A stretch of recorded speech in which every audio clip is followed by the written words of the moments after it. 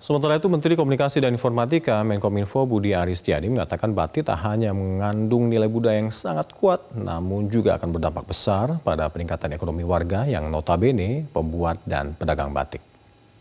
Ini kan uh, penuh nilai-nilai budaya, filosofinya kuat, apa pemikirannya rasa, dan ini kan digali lama oleh para leluhur bangsa kita, sehingga variasi batik kan dari Sabang sampai Merauke dari bangsa jadi batik ini harus kita pertahankan.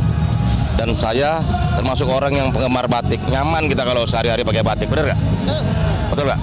Iya. Penjualan batik di online gimana Pak? Ya iya justru itu, ini kan harus kita tingkatkan. Karena begitu kita membeli satu buah batik, itu multiplier efeknya ke mana-mana tuh. Penggahitnya pasti orang Indonesia, ya kan? E, motifnya, pengrajinnya, makanya itu kita harus bangga buatan Cara mudah mendapatkan informasi dengan satu sentuhan jari. Download Metro TV Extend.